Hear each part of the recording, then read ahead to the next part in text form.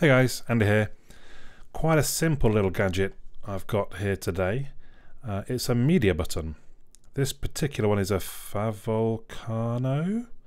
Um, bought from Amazon, free delivery, thirteen ninety nine, and basically the idea is just it is just a, a controller for media on your phone.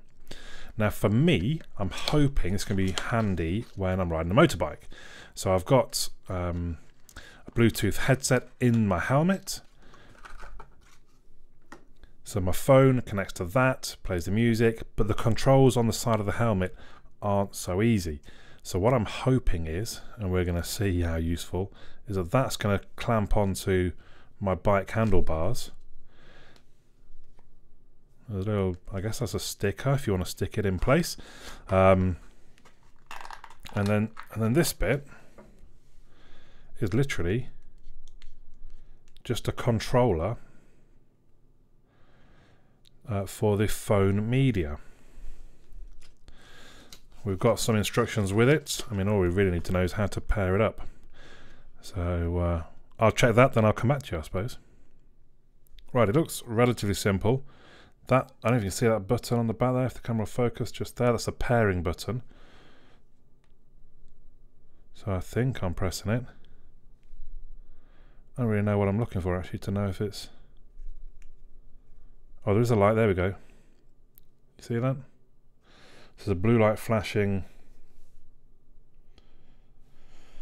Then on my phone, there we go. BT, can you see that?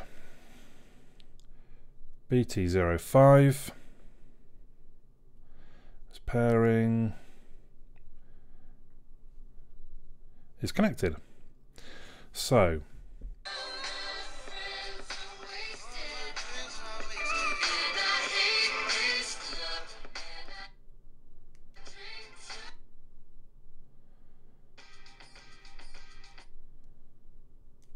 Uh, so I wouldn't. I was hoping that you could hold it to uh, to fast forward,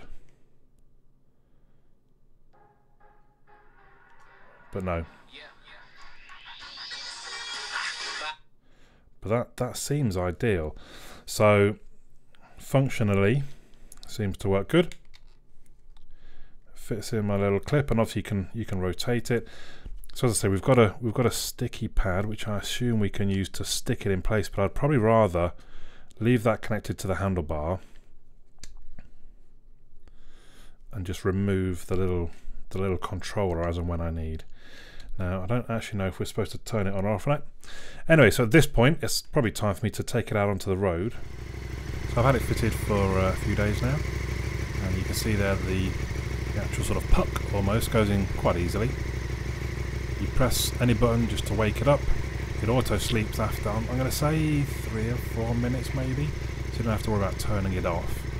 But you might need to wake it to use it again if you've not used it for some time. I think it looks uh, it looks fine in that position. It, uh, it doesn't really stand out look particularly stupid. Um, it, there's a bit of movement but as you can see if I pull at it there's no way it's coming off. You have to slide up to the thinner part of the handlebar on this bike at least could take it on off if you wanted, but otherwise it's, it's in there pretty sturdy. Um, I've used it in the rain, it's not seemed to have any problem with that at all. Um, so, and it seems to work just fine. You know, you can skip back and forward and pause and play, turn the volume up down, obviously, all the buttons that are on there. Um, and actually it's, it's really quite handy for £13 or so you control your music much easily. The buttons could do with being a bit more pronounced, so you're easier to find with gloves on, because as you can see they are quite flat. But at the same time, I generally haven't had any problems uh, controlling the media. There you go. Leave me your thoughts in the comments down below. My name's Andy.